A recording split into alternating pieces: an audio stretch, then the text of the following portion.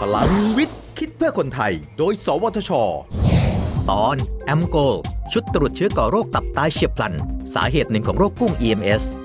อุตสาหกรรมเลี้ยงกุ้งในหลายประเทศ ได้รับผลกระทบจากโรคกุ้งตายด่วน หรือ EMS สาเหตุหนึ่งของโรคนี้เกิดจากเชื้อแบคทีเรีย Vibrio parahemolyticus สายพันธุ์ที่ก่อโรคตับตายเฉียบพลันครับ การตรวจพบเชื้อก่อโรคสายพันธุ์นี้ได้เร็ว จะช่วยลดการระบาดของโรคได้ทันเวลา ซึ่งตอนนี้นักวิจัยไทย ได้พัฒนาชุดตรวจที่มีความแม่นยำ ใช้ง่าย รู้ผลไว มาช่วยเกษตรกรแล้วค่ะ นักวิจัย สวทช พัฒนาวิธีการตรวจเชื้อแบคทีเรีย Vibrio parahemolyticus ที่เป็นสาเหตุของโรคตับตายเฉียบพลัน สาเหตุหนึ่งของโรคกุ้งตายด่วน โดยใช้เทคนิคแลมร่วมกับตัวตรวจจับ DNA ที่ติดฉลากด้วยอนุภาคทองคำนาโน ซึ่งใช้เวลาในการตรวจรวมทุกขั้นตอนเพียงแค่ 1 ชั่วโมง มีความไวกว่าเทคนิคเดิมคือ PCR ถึง 100 เท่า ซึ่งเทียบเท่ากับเทคนิค nested PCR สามารถนำไปใช้ได้ในโรงเพาะเลี้ยงขนาดเล็กหรือฟาร์มขนาดเล็กโดยไม่ต้องพึ่งพาเครื่องมือวิทยาศาสตร์ราคาแพงตรวจได้ในกุ้งทุกวัยรวมทั้งไข่กุ้ง ลูกกุ้ง หรือพ่อแม่พันธุ์โดยถ้ามีการติดเชื้อ เราจะเห็นสารละลายเป็นสีแดง ที่เกิดจากอนุภาคทองคำนาโน แต่ถ้าไม่พบการติดเชื้อ เราจะเห็นสารละลายเป็นสีเทา เทคนิคมีความจำเพาะสูง โดยไม่ให้ผลบวกเมื่อทดสอบกับ DNA ของแบคทีเรียชนิดอื่นๆ วิจัยและพัฒนาโดยไบโอเทคสบทช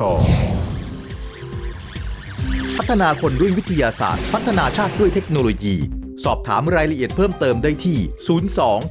02 564 8000